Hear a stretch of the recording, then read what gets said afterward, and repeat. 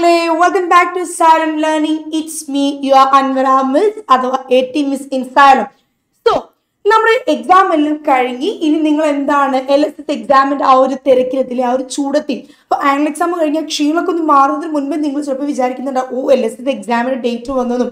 പക്ഷെ ആലോചിച്ച് നോക്കിയാൽ ഇത് തന്നെയാണ് എന്ത് ഏറ്റവും നല്ല ആപ്പ് ടൈമിൽ ബിക്കോസ് നമുക്കറിയാം എന്താ നമ്മൾ പഠിച്ച് പഠിച്ചത് എന്ത് ചെയ്തിട്ടില്ല അധികം മറന്നൊന്നും പോയിട്ടില്ല. എൽ എസ് എസ് എക്സാമിൽ നിങ്ങൾക്ക് അറിയാം അത്യാവശ്യം നല്ലോണം പഠിക്കാനുണ്ട്. അല്ലെ എല്ലാ സബ്ജക്റ്റും സയൻസും മാത്സും നമ്മൾ ലാംഗ്വേജ് ഒക്കെ പഠിക്കാനുണ്ട്. ഇന്ന് മിസ് നിങ്ങളുടെ മുന്നിൽ വന്നിരിക്കുന്നത് ഇംഗ്ലീഷിൽ വളരെ പ്രധാനപ്പെട്ട പത്ത് ചോദ്യങ്ങൾ എന്ത് ചെയ്യണം? പഠിക്കണം നമുക്ക്. ആ പത്ത് ചോദ്യങ്ങളുമായിട്ടാണ് ഞാൻ വന്നിരിക്കുന്നത്. സോ നമുക്ക് നോക്കാം. പത്ത് ചോദ്യങ്ങളാണെന്ന് മിസ് പറഞ്ഞു അല്ലെ എങ്ങനെയാണ് ഏതൊക്കെ ടൈപ്പ് ചോദ്യങ്ങളാണ് നിങ്ങളോട് നമുക്ക് പറയാനുള്ളത് അല്ലെങ്കിൽ എൽ എസ് എസ് എക്സാമിൽ നിങ്ങളോട് ചോദിക്കാനുള്ളത് എന്നല്ലേ? ആദ്യത്തെ ചോദ്യം ഇവിടെ നിങ്ങൾക്ക് കാണാം. ആൻസർ ദ റിഡിൽ എന്നാണ് അല്ലേ? ഇവിടെ നോക്കി റിഡിൽ ക്വസ്റ്റ്യൻ ആണ്. എല്ലാ ക്വസ്റ്റ്യൻ പേപ്പറും നമ്മൾ എടുത്ത് നോക്കുമ്പോൾ നമ്മൾ പട്ടം കറക്കുന്നത് നമ്മൾ ചിന്തിപ്പിക്കുന്ന കുസൃതി ചോദ്യം പോലെ അല്ലെങ്കിൽ റിഡിൽ ക്വസ്റ്റ്യൻസ് നമ്മൾ പറയില്ലേ? ഒരു റിഡിൽ ക്വസ്റ്റ്യൻ നമുക്ക് എന്താണ് എൽ എസ് എസ് എക്സാമിന് കാണാം. അപ്പൊ ഇവിടെ നോക്കി നിങ്ങളോട് മുൻപ് ചോദിച്ചൊരു ചോദ്യമാണ്. I'm a liquid. I have a pleasant smell. If you use me, you will be safe. Coronavirus is afraid of me. So ഇവിടെ നമുക്കറിയാം corona virus is afraid of me എന്ന് പറഞ്ഞാൽ തന്നെ നമുക്കറിയാം ഇത് ആരാണ് കക്ഷി who is this like so last ചോദിക്കുന്നുണ്ട് ഹു എം ഐ ഞാൻ ആരാണ് ആരാണ് ഉത്തരം നമുക്കറിയാം ദ ആൻസർ ഇസ് എന്താണ് സാനിറ്റൈസർ ആണ് അല്ലേ സോ ഈസി അല്ലേ? റിഡിൽ ക്വസ്റ്റ്യൻ എന്ന് പറഞ്ഞാൽ എപ്പോഴും നമ്മൾ എന്താണ് ഇടപഴകുന്നത്? അല്ലെങ്കിൽ നമ്മൾ എപ്പോഴും എന്താണ് നമുക്ക് ഉപയോഗമുള്ള അല്ലെങ്കിൽ നമ്മൾ അറിയാവുന്ന ചോദ്യം മാത്രമേ നമുക്ക് തരുള്ളൂ. ജസ്റ്റ് നമ്മൾ എന്ത് ചെയ്യണം? ഒരു രണ്ട് പ്രാവശ്യം നമ്മൾ ആ ചോദ്യം എന്ത് ചെയ്യണം? ഒന്ന് വായിച്ച് നോക്കണം. ഓക്കെ അല്ലേ? അടുത്ത ക്വസ്റ്റ്യനിലേക്ക് പോവാം നമുക്ക്. നോക്കിയ അടുത്ത question make a meaning word from the letters given below and complete the sentence make a meaning word ഒരു അർത്ഥമുള്ള വാക്ക് എന്ത് ചെയ്യണം നിങ്ങൾ ഉണ്ടാക്കണം എങ്ങനെ? അർത്ഥമില്ലാത്ത വാക്കാണോ? നോ മീനിങ് ഫുൾ വേർഡ് അർത്ഥമുള്ള വാക്ക് നിങ്ങൾ ഉണ്ടാക്കണം ഫ്രം ദ ലെറ്റേഴ്സ് എവിടുന്നാണ് താഴെ തന്നിരിക്കുന്ന അക്ഷരങ്ങളിൽ നിന്നും നിങ്ങൾ എന്ത് ചെയ്യണം? ഒരു വാക്ക് ഉണ്ടാക്കണം എന്നിട്ട് നിങ്ങൾ എന്ത് ചെയ്യണം? ഈ സെന്റൻസ് കംപ്ലീറ്റ് ചെയ്യണം. അപ്പൊ ഇവിടെ നോക്കിയേ ഡി ഉണ്ട് യു ഉണ്ട് ഒ ഉണ്ട് എൻ ഉണ്ട് സി ഉണ്ട് ഇ ഉണ്ട് പി ഉണ്ട് അല്ലെ? നമ്മൾ പൊട്ടുണ്ട് കടയുണ്ട് പറയുന്ന പോലെ ഇവിടെ കുറേ ലെറ്റേഴ്സ് തന്നിട്ടുണ്ട്. Know what is the sentence എന്താണ് ഇവിടെ തന്ന sentence a fat boy dash as boat a fat boy തടിച്ചൊരു കുട്ടി എന്ത് ചെയ്യാണ്? അന്നയുടെ ബോട്ട് എന്ത് ചെയ്യണം? ഇങ്ങനെ മുക്കിയും പൊന്തിച്ചും താഴ്ത്തിയും പൊന്തിച്ച് താഴ്ത്തി എന്ത് ചെയ്യുന്നുണ്ട്? കളിക്കുന്നുണ്ട്. സോ നമുക്ക് ഇവിടെ നോക്കാം. നമുക്ക് ഇവിടെ ഉണ്ടാക്കിയെടുക്കാവുന്ന വേർഡ് ഏതാണ്? ദിസ് ഈസ് പൗൺസ്ഡ് ഓക്കെ നിങ്ങൾക്ക് ഊഹിക്കാം നിങ്ങൾക്ക് അറിയാവുന്ന വാക്കാണ്.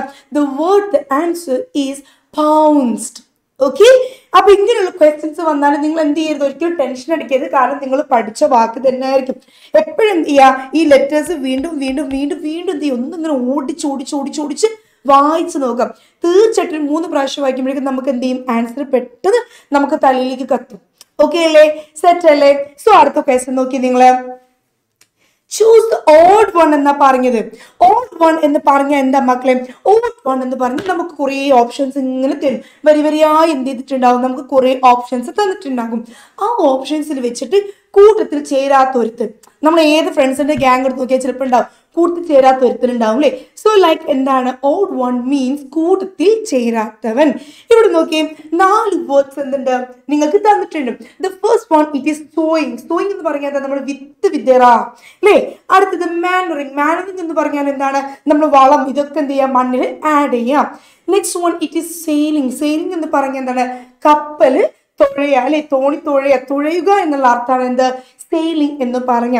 What is the last one last word എന്താണ്? ദിസ് ഇസ് റീപ്പിംഗ് നമ്മൾ വിത്ത് എന്ത് ചെയ്യാണ് വിത്തല്ല വിള. വിള നമ്മൾ എന്ത് ചെയ്യും? കൊയ്തെടുക്കുക. കൊയ്തെടുക്കുന്നതിന് ഇംഗ്ലീഷിൽ എന്താ പറയാ? ഇറ്റ് ഈസ് റീപ്പിംഗ് വിളവെടുപ്പ്. ഇത് കേട്ടതിന് മൂന്നെണ്ണം നമുക്കറിയാം. കൃഷിയോട് അനുബന്ധിച്ചിട്ടുള്ളതാണ്. നോക്കിയേ സോയിങ് നമുക്കറിയാം കൃഷിയാണ്. ദെൻ മാനുറിങ് എന്താണ്? ഫാമിങ്ങിനോട് റിലേറ്റഡ് ആണ്. റീപ്പിംഗ് എന്താണ്? It is also related to farming അപ്പൊ പിന്നെ ഇവിടെ കൂട്ടത്തിൽ ചേരാത്ത ഒറ്റപ്പെട്ട് നിൽക്കുന്ന ഒരേ ഒരുത്തനേ ഉള്ളൂ. Who is that person the person is sailing who is that one sailing അല്ലെ എന്താണ്? തൊഴിഞ്ഞു പോവുക. മനസ്സിലായോ? അപ്പൊ ഓഡ് വൺ എന്നുള്ള ചോദ്യം വന്ന മക്കൾ മനസ്സിലാക്കണം ഓഡ് വൺ ഒറ്റപ്പെട്ടത്. ഓ ഓ ഓർത്ത് വെച്ചോ. Odd one ഒറ്റപ്പെട്ടത്. ഓക്കെ അല്ലേ അടുത്ത് നോക്കിയേ. നോക്കാം. Rearrange the words in the correct order to get a meaningful sentence ഇവിടെ നിങ്ങൾക്ക് എന്തുണ്ട്? കുറേ വാക്കുകൾ തന്നിട്ടുണ്ട്. ഈ വാക്കുകളൊക്കെ ഡിസോർഡർ ആണ് അല്ലേ? കറക്റ്റ് ഓർഡറിലല്ല തന്നത്. നമ്മൾ എന്ത് ചെയ്യണം? ഈ വാക്കുകളൊക്കെ അറേഞ്ച് ചെയ്ത് അറേഞ്ച് ചെയ്ത് കംപ്ലീറ്റ് നമ്മൾ ടെക്സ്റ്റ് ബുക്കിൽ പഠിച്ച് കറക്റ്റ് എന്ത് ചെയ്യണം? സെന്റൻസ് ആക്കി എഴുതണം.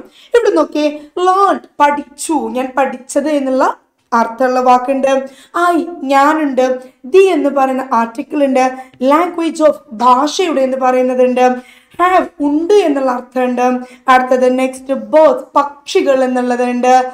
Okay next Ivan said Ivan പറഞ്ഞു അല്ലേ നോക്കി ഇവിടെ I have learn the language of birds Ivan said Ivan എന്താ പറഞ്ഞത്? I have learn the language of birds okay പക്ഷികളുടെ ഭാഷ എന്ത് ചെയ്തു? ഞാൻ പഠിച്ചു. എന്ന് ആര് പറഞ്ഞു? ഇവാൻ പറഞ്ഞു. അപ്പൊ നോക്കിയേ ഇവാൻ നമുക്കറിയാം സബ്ജക്റ്റ് ആണല്ലേ?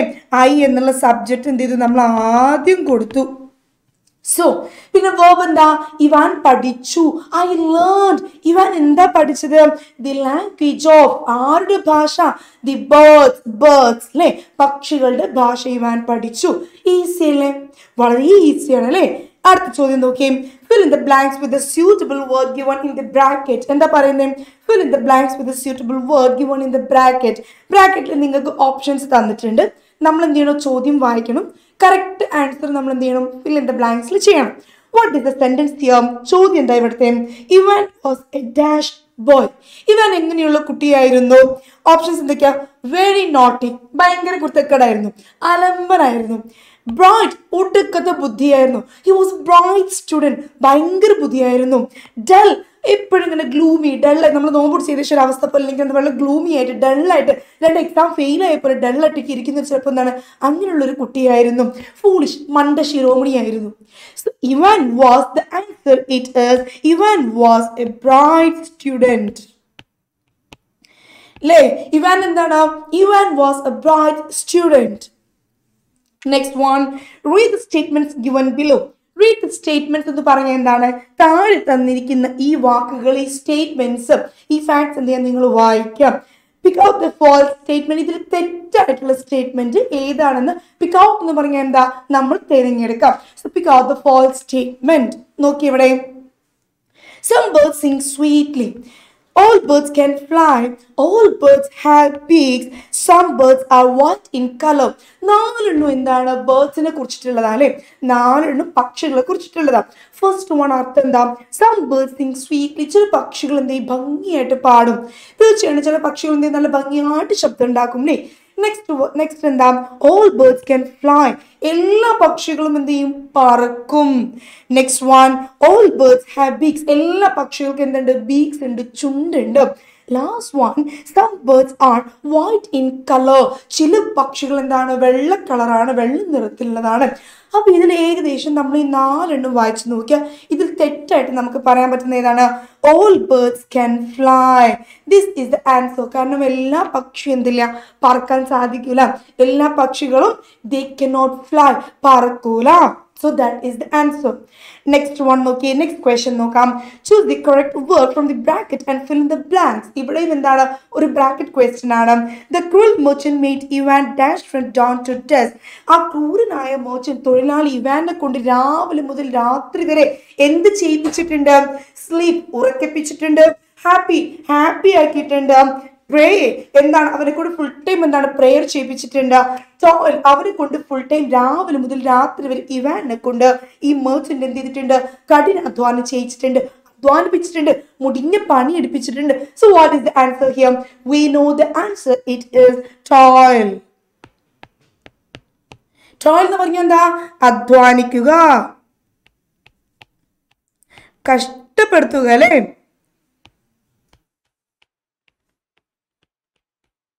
കഠിനാധ്വാനം എന്നൊക്കെ നമുക്ക് പറയാം അല്ലേ? അപ്പൊ ഇവിടുത്തെ ആൻസർ നോക്കി the cruel merchant made Ivan toil from dawn to dusk രാവിലെ മുതൽ എന്ത് ചെയ്തിട്ടുണ്ട്? രാത്രി വരെ എന്താണ് ഇവാനെ കൊണ്ട് പൊട്ടി പണിയെടുപ്പിച്ചിട്ടുണ്ട്. നെക്സ്റ്റ് വൺ നോക്കിയേ. ഇതും എന്താ? റീഅറേഞ്ചിങ് ക്വസ്റ്റ്യൻ ആണ്. Rearrange the given words and why the answer to the question ഇവിടെ നിങ്ങളോട് പറയാണ് ഒരുപാട് വേർഡ്സ് എന്ത് ചെയ്തിട്ടുണ്ട്? നിങ്ങൾക്ക് തെറ്റിച്ച് തെറ്റിച്ച് ഡിസോർഡർ ആയിട്ട് തന്നിട്ടുണ്ട്. ഓരോന്നും വായിക്കണം ഓരോന്ന് വായിച്ച് മനസ്സിലാക്കിയിട്ട് കറക്റ്റ് അർത്ഥം വരുന്ന വാക്ക് സെന്റൻസ് ക്രിയേറ്റ് ചെയ്യണം. വാക്കുകൾ ഏതൊക്കെ ഇവിടുത്തത്?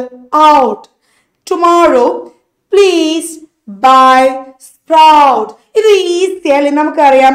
Please sprout out by tomorrow that can be the sentence വളരെ ഈസി ആണല്ലേ? Please sprout out by tomorrow ഇതാണ് എന്ത് വരാ? ഇവിടെ അർത്ഥമുള്ള കംപ്ലീറ്റ് ആയിട്ടുള്ള സെന്റൻസ് അടുത്തത് നോക്കി നിങ്ങൾ വിദ്യാർത്ഥ വിദ്യാർത്ഥ എങ്ങനെയുള്ള രാജാവായിരുന്നു? വിദ്യാർത്ഥ വാസ് എ ജസ്റ്റ് എന്താണ്? ആൻഡ് ഡാഷ് കിങ് വിദ്യാർത്ഥ എങ്ങനെയുള്ള രാജാവായിരുന്നു? ബ്രേവ് ഭയങ്കര ധൈര്യശാലി ഓൾഡ് കിളവൻ വയസ്സൻ പ്രായം വന്നല്ലേ? നെക്സ്റ്റ് വൺ വൈസ് വിവേകം. ഭയങ്കരമായിട്ട് വിവേകമുള്ള ക്രൂർ ക്രൂരനായിട്ടുള്ള രാജാവ്. സോ നമുക്കറിയാം Vidyartha he was a wise king വളരെ വിവേകമുള്ള രാജാവായിരുന്നു വി അല്ലേ ആര്? നമ്മുടെ Vidyartham. So Vidyartham he was a wise king നമ്മൾ പഠിച്ചു വെക്കണം കേട്ടോ പത്ത് ചോദ്യം നമ്മൾ പഠിച്ചു. Vidyartha was a wise king എന്നുള്ളത് നമ്മൾ പഠിച്ചു. അടുത്തത് എന്താണ്? Choose synonym of loud synonym എന്ന് പറഞ്ഞാൽ എന്താ? പര്യായം. സിനിമ എന്ന് പറഞ്ഞാൽ എന്താ? പര്യായ പദം അപ്പൊ ലൗഡ് എന്ന് പറഞ്ഞ ശബ്ദം. ശബ്ദം എന്ന് പറഞ്ഞാൽ എന്താണ് ഇവിടെ? നോക്കിയാൽ ലൗഡ് പറഞ്ഞാൽ എന്താ? ഉറക്കെ ശബ്ദം ഉണ്ടാക്കുക. അതിനിവിടെ പറയുന്ന മറ്റൊരു വാക്ക് നോക്കാം. ഹൈ സൗണ്ട് ഉച്ചത്തിലുള്ള ശബ്ദം. വിതൗട്ട് സൗണ്ട് ശബ്ദമില്ലാതെ ഇരിക്കാം സ്മോൾ സൗണ്ട് നേരിയൊരു ശബ്ദം. സൗണ്ട്ലെസ് ശബ്ദമേ ഇല്ല ഇവിടെ നമുക്ക് ഈ നാല് ഓപ്ഷൻ തന്നെ വായിച്ചാൽ ലൗഡ് എന്ന് പറയുന്നതിനോട് മാച്ച് ചെയ്യുന്നത് എന്താണ്? It is high sound so that is the answer അല്ലേ എന്താ അവിടുത്തെ ആൻസർ വരാ? High sound this is the answer അപ്പൊ സിനണിം എന്ന് പറയുന്ന മക്കൾ മറക്കരുത്. സിനണിം എന്ന് പറഞ്ഞാൽ എന്താണ്? പര്യായം. പര്യായം എന്ന് പറയുന്നത് എന്താണ്? ഒരേ പദങ്ങളല്ലേ? ഒരേ പദങ്ങളൊക്കെ മറ്റൊരു പേര്. ശരിയല്ലേ? സെറ്റ് ആണല്ലോ. അപ്പൊ ഈ പത്ത് ചോദ്യങ്ങൾ നിങ്ങൾ പഠിച്ചല്ലോ. ശരി. അപ്പൊ നമ്മളിവിടെ പത്ത് ക്വസ്റ്റ്യൻസ് ആണ് ഇംഗ്ലീഷിന്റെ നമ്മുടെ എൽ എസ് എസ് എക്സാമിന് വേണ്ടിയിട്ടുള്ള ഇമ്പോർട്ടന്റ് ചോദ്യം നമ്മൾ ഡിസ്കസ് ചെയ്തു ഇതോടുകൂടി എന്ത് ചെയ്യുന്നില്ല? നമ്മുടെ ചോദ്യങ്ങൾ തീരുന്നില്ല. ഇനിയും ഒരുപാട് ചോദ്യങ്ങൾ എന്തുണ്ട്? എക്സാമിന് മുൻപ് നമുക്ക് ചെയ്യാനുണ്ട്. റെഡി ആയിട്ടിരിക്കാം. എല്ലാവരും എന്ത് ചെയ്യണം? വീഡിയോ കാണണം. വീഡിയോ കണ്ടിട്ട് നിങ്ങൾ നിങ്ങളുടെ ഫ്രണ്ട്സിനൊക്കെ എന്ത് ചെയ്യണം? വീഡിയോ ഷെയർ ചെയ്യണം. ആ വീഡിയോ ഷെയർ ചെയ്ത് ചെയ്യുന്നതോടൊപ്പം നല്ലവണ്ണം പഠിക്കുക ഓക്കെ സോ ഇനിയും ഒരുപാട് വീഡിയോസ് എന്ത് ചെയ്യുന്നുണ്ട്? നിങ്ങൾക്ക് വേണ്ടി വരാനുണ്ട്. Be with us. Subscribe our channel. Be with Salem we will together rock. Okay? See you soon with a new content. Till that you take care. Bye